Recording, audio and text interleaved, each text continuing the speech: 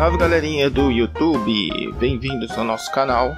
Hoje a gente vai fazer mais uma montagem aqui do Arduino Nano para Proteus, né? Vamos fazer aqui do nosso jeito. Eu vou utilizar umas partes do original, umas partes do Simulino e a gente vai tentar criar um com um gráfico um pouco mais legalzinho para a gente. Belezinha? Também para mostrar para o pessoal que não é bicho de sete cabeças, né? Isso aqui eu estou fazendo para um dos inscritos que está pedindo código novamente. E é melhor a gente aprender a fazer, né? Que a gente não fica dependente. Então, beleza, eu estou desenhando um quadrado, um retângulo, né? Aqui eu venho nessa opção para pegar os pinos, pino default ali, são os pinos padrão. Aqui eu tenho a minha colinha, o desenho que eu baixei no Google Imagens de um Arduino Nano, beleza? Com SMD, com entrada USB. Deixa eu contar aqui, são 15 pinos, né? Provavelmente 15 dos dois lados. Então vamos colocar 15 aqui. Bom, ao invés de colocar tudo de novo, eu só copio, colo e inverto eles. Bom, agora a gente já tem o corpo, vamos deixar ele um pouco mais parecido, né? O que a gente vai fazer primeiro? Vamos trocar a cor. Trocar a cor para uma cor bem próxima do Arduino original colocar o traçado com cinza, cinza claro. O pessoal coloca o agosto aí, só um exemplo. E aqui eu vou escolher uma cor azul, meio verde, ou uma cor verde meio azul. Deixa eu mudar o tom aqui que está bem diferente. Joia, é só escolher as cores aqui, ó. A gente pode salvar ali como cor personalizada eu não manjo muito disso aqui não, mas não deve ter nenhum segredo. Ou tem? Bom, seleciona aqui e salva nossa cor. Belezinha, né? Azul marinho, tem nem ideia. Aqui parece ser um pouco mais escura. Beleza. Escolhida aí a nossa cor. Agora eu vou fazer um detalhe de sombra. Isso aqui não... Eu não entendo nada disso. Eu tô fazendo uma gambiarra, na verdade fazer uma linha na cor bem parecida, a mesma cor inicialmente. Deixar ela um pouco mais escura para fazer a sombra. Deixar ela um pouquinho mais gordinha, né? Fazer uma cópia, colocar na direita também. Belezinha? Agora a gente vai fazer o círculo dos pinos, né? Onde os pinos são soldados. Escolha a ferramenta círculo. Ela é um pouco grande, a gente vai ter que colocar os dados manualmente, né? Aqui é bem chatinho fazer isso. Sempre salvar o seu código, porque quando você mexe no círculo, o Proteus ele trava e fecha seu programa. Você perde metade do seu trabalho. Ele salva, mas salva metade. Virou 80H, vou colocar 30, 40. Então quando você estiver mexendo no círculo, lembra de salvar sempre, né? Eu, eu errei aqui um monte de vezes, fiz, levei quase duas horas refazendo isso aqui. E é uma coisa simples, é só colocar um valor ali, mas parece que é um float, algum erro de programação aí. Vou colocar uma cor diferente, vai ser a linha como cinza e o fundo como a cor de papel. Deixa eu trocar aqui.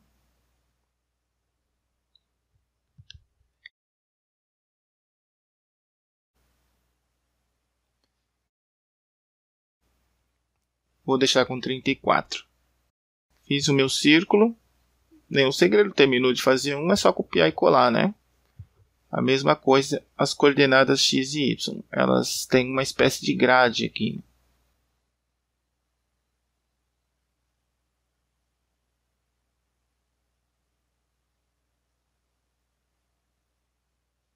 Recortar e colar é mais rápido, né?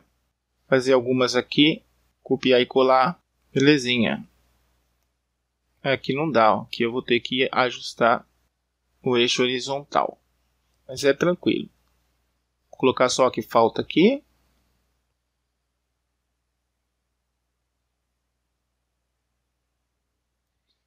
E agora vamos adaptar essa daqui na direita.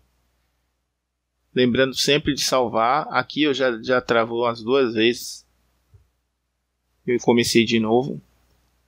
Você tem que se acostumar com o programa aí, né? Não. ficar bem na pontinha. Aí, assim tá bom. Agora a gente copia e cola. E é só repetir o processo.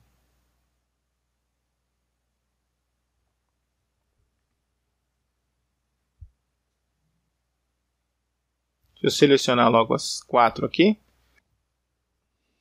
É mais rápido.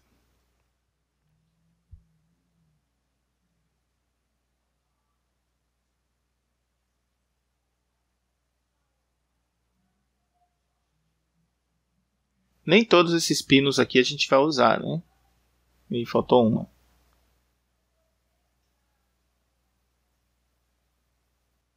Deixa eu virar aqui para a gente ver melhor.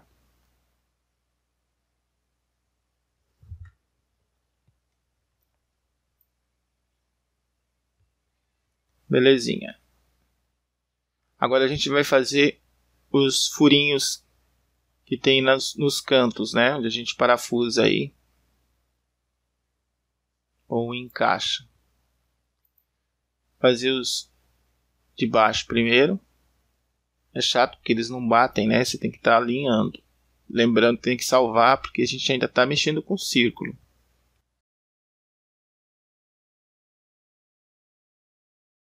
Joinha. Agora vamos fazer o da esquerda. E beleza.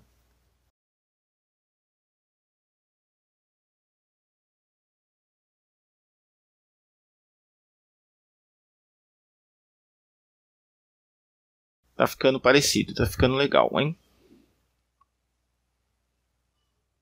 Bom, agora a gente vai fazer as labels, né, os textos, né? Tem que deixar bem pequenininho.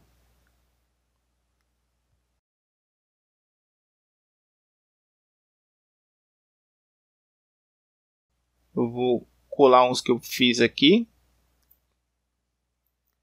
Já estão alinhados. É chato alinhar isso aqui também. Eu já mostrei no tutorial do display. Não é impossível, mas é chatinho. Tá aqui todos os pinos do lado esquerdo, mais o reset, mais o GND. Beleza? Esse veinho aqui não vai nem usar. Bom, agora a gente vai fazer o conector ali na serial. Eu vou fazer simplesmente dois retângulos E os pinos eu vou fazer retângulos pequenos. São seis, né? Bem simples. Na cor preta, na cor marrom. Belezinha? Foi os que eu achei mais legal.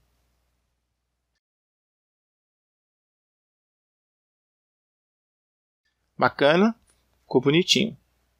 Agora a gente vai colocar os textos da direita. Já estou vendo que não vai dar certo. Bom, a gente vai fazendo, vai pegando experiência, né? Agora eu sei ajustar mais rápido. Eu vou aumentar o tamanho do nosso retângulo. Colocar mais 4 milímetros. Bacana. Vou ajustar o círculo, eu sei que é 4 agora, 4 de baixo também. É matemática, né? Não tem como errar. Vamos fazer os pequenininhos também, aumentando eles em 4. Só que aqui é o contrário, porque eles estão negativos, né? Agora é só remover, copiar esse que está certo e colar para todo mundo.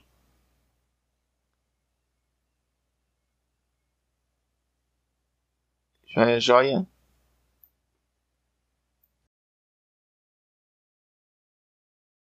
Beleza. Bom, eu tenho que mexer aqui essa faixa também, né? Vou colocar 85 para ele ficar bem na pontinha. E joia, joia. Deixa eu arrumar a outra também, que a outra estava um pouco afastada. Beleza. Bom, agora vamos ver o nosso texto, né? Vamos ver se ficou melhor. Ainda está pegando. Deixa eu colocar aqui o TX. reset. Não gostei não. Deixa eu levar ele mais para lá. Pera aí. Deixa eu apagar. E vou colocar todos agora. Vamos ver se melhora.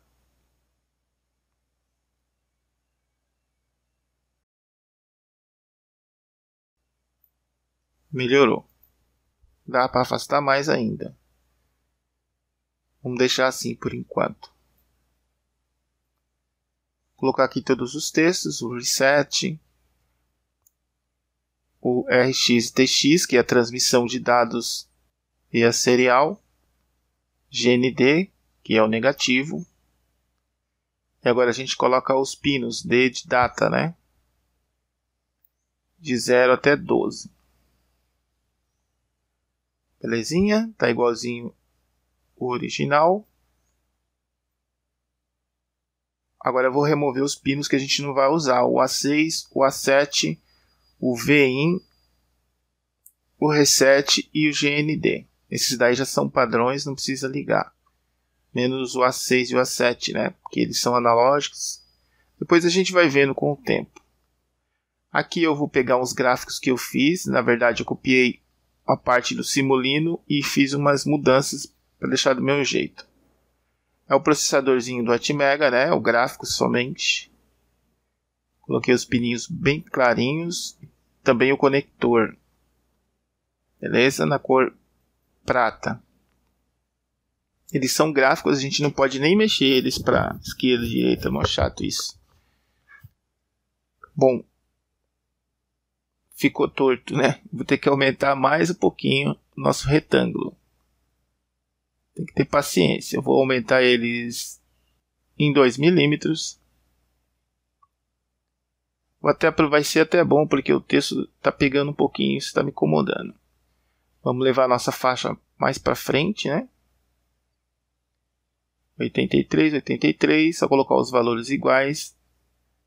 Beleza, vou mexer o círculo também 1 milímetro. Deixa eu ter que trocar todos por 1 milímetro. Mas vamos lá. Agora não está mais pegando no texto, né? Deixa eu apagar todos aqui, vai demorar.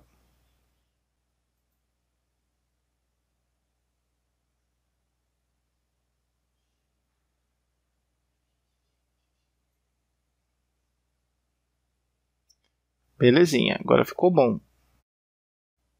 Ficou joia. Bom, agora eu vou colocar o botãozinho de reset, apenas três tracinhos, né? Um por cima do outro, na cor prata, na cor cinza. Textinho ali escrito reset. E aqui eu vou colocar o cristal, que é só uma linha, que eu deixei ela gordinha. Duas linhas, né? Uma preta e uma prata por cima. A gente pode ver que a gente não tem muito recurso gráfico aqui, né? é meio tudo, tudo é meio gambiarra. Belezinha? Deixa eu limpar aqui. Ficou legal, hein? Agora eu vou colocar uns resistorzinhos aqui improvisados. São três linhas, uma sobre a outra. Só que como elas se mexem de um em um milímetro e eu preciso menos, vou colocar dois pares aqui, que vai ser os LEDs e os resistores. Vou copiar e vou colocar manualmente 5 milímetros cada uma para qualquer direção, né? Vou colocar aqui para a esquerda 1.3 e eu adiciono 5. Mesma coisa para o outro eixo, sempre os dois iguais. Essa primeira peça. Vou fazer isso para as três peças que eu fiz.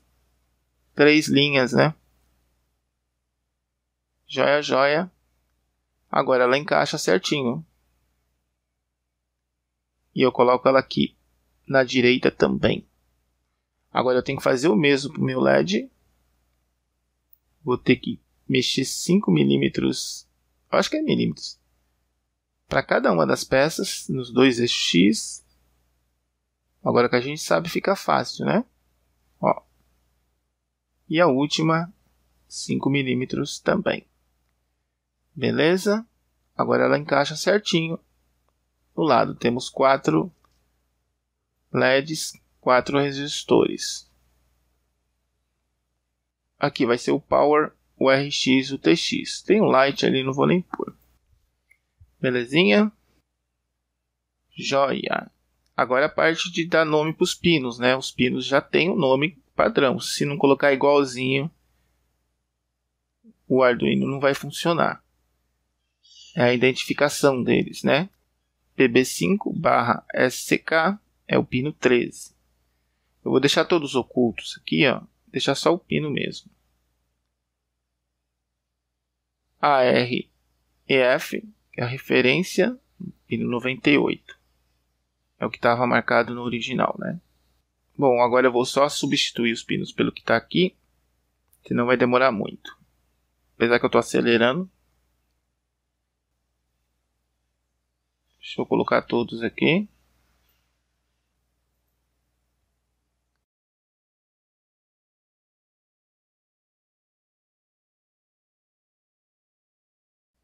Joia, joia. Esse daqui, ele é oculto. Esse aqui não vai estar disponível no Proteus. Ele, mas tem que pôr o pino, né? Mesmo oculto, ele tem que estar lá. Agora eu vou tirar todos aqui da direita. Vou colocar tudo de uma vez que eu tenho aqui na, no que eu fiz antes. Tem que colocar o nome também do nosso Arduino, né? É o Simulino Nano. Eu vou trocar o nome dele aqui. Vamos criar um novo componente. Finalmente, vou colocar Simulino 2 colocar ali jogos e programação e só salvar. Beleza? Criamos aí o nosso componente, pode apagar aqui os gráficos e pegar o componente novo. Joia, joia. Esse aqui é o nosso Simulino Nano. Belezinha? Eu acho que está mais parecido aí com o original, né? Fica mais legal de trabalhar nele assim. Beleza? Eu usei os pinos deles todos alinhadinhos. E vamos fazer um teste. Vamos pegar um programinha aqui no Arduino. Que eu ia fazer um videozinho, vou fazer mais tarde. É Step Motor, né? Motor de passo. Só para a gente testar. Vamos colar aqui. Tem que escolher Nano no Sketch. E joia, joia tá funcionando aí, os LEDs acendendo, né? No caso aqui são os Logics. Bom, vamos colocar o motor, né? Testar de uma vez. Lembrando que você não pode colocar motor de passo direto no Arduino. Tem que pôr num driver, né? É que aqui é simulador, não tem problema. Mas na vida real não vai nem funcionar. Pode queimar as portas do seu Arduino. É porque a função lógica é a mesma, mas o motor ele gasta muita corrente. O Arduino não tem força para rodar ele. O Arduino é o cérebro e os drivers são os músculos. Belezinha? Tá rodando aí funcionando bacaninha. É isso aí. Agora a gente tem mais um para a gente poder programar aí, né? Espero que o pessoal tenha gostado. Quem gostou, dá um like. O pessoal faça em casa também, né? Nada de copiar código aí, vamos fazer em casa. Belezinha? Até a próxima, galera. Valeu!